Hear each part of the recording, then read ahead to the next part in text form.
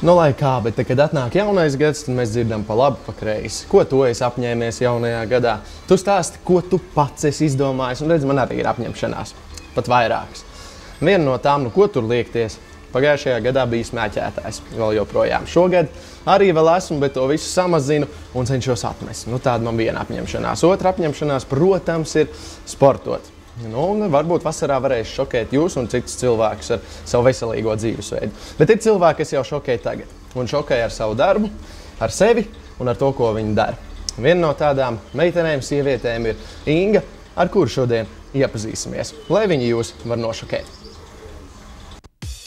Virsleitnante Inga Dauškāne ir NBS drošības virsniece, kas savu dzīvi saistījusi ar armiju, aktīvu sportu un veselīgu dzīvesveidu popularizēšanu. Armijā ir, ir, ir teiksim, arī amati, ko es uzskatu, ka viņi ir pietiekoši tādi sievišķīgi, un kur varbūt tās arī vajag tādu, nu, sievietes tādu varbūt tās maigumu, pat loģiku, jā.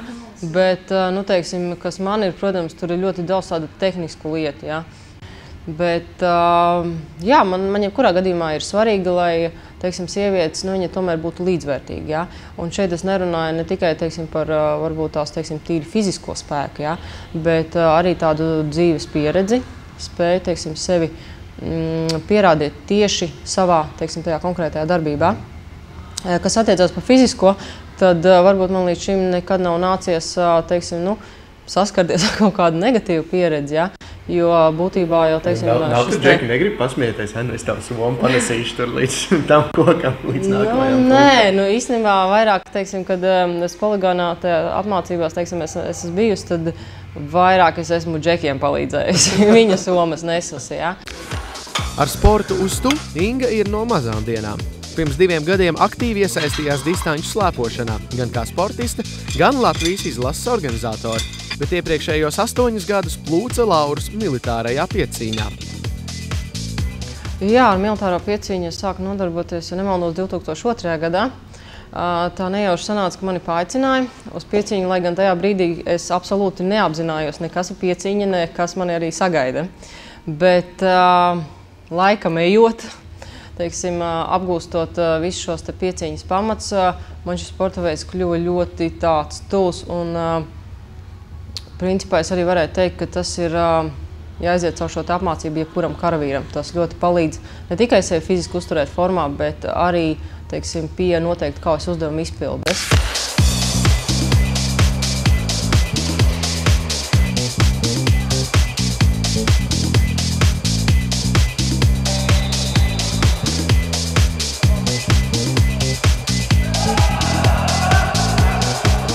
Militārā piecīņā sportists saviem spēkiem mērojas peldēšanā, kas nav tikai ātrums, bet arī sarežģītu šķēršļu pārvarēšana. Granāts mešanā, gan uz precizitāti, gan tālumā, krosa skriešanā un šaušanā, šaujot ar 6 līdz 8 mm kalibra šautenēm no 200 līdz 300 metru distancē.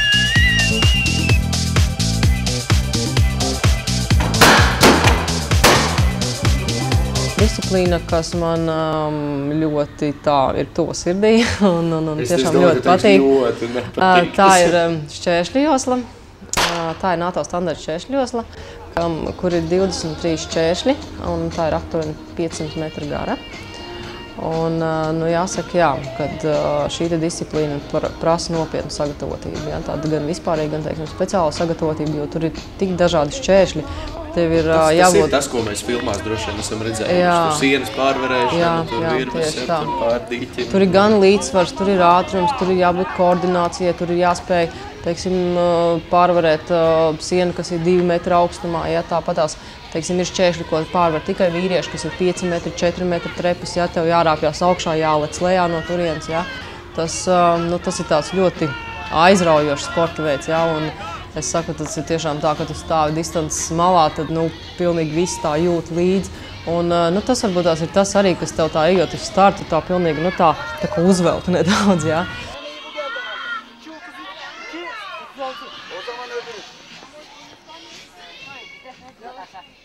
Pateicoties arī teiksim, šai te treniņu metodikai, ko mēs Atlantisā izmantojām arī un pateicoties Ivaram Čākuram, ja, tad šajā disciplīnā, godīgi sakot, mēs bijām viena no vadošajām valstīm teiksim, vispār pasaulē. Ja.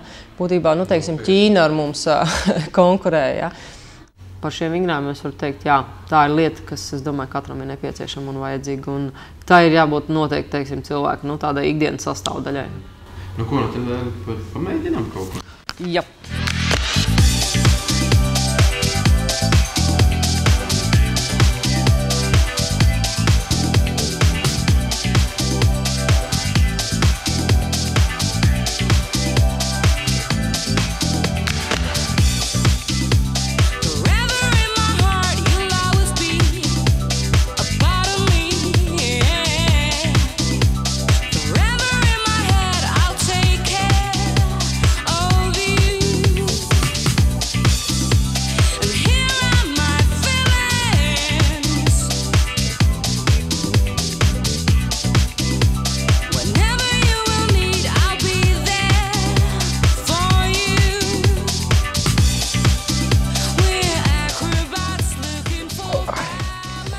Nu, ko redzēt, cilvēki māca šokēt ne tikai ar tiešām šokējošām lietām. Nu, tev nevajag izdurt visu sevi ar piercingiem, vai notetovēties, vai es nezinu, domājiet paši vēl ko.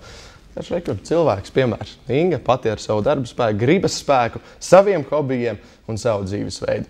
Šokēja mani, es ceru, ka arī tevi nošokēja. Skatīsimies, ko nākamreiz kāds cits nošokēs.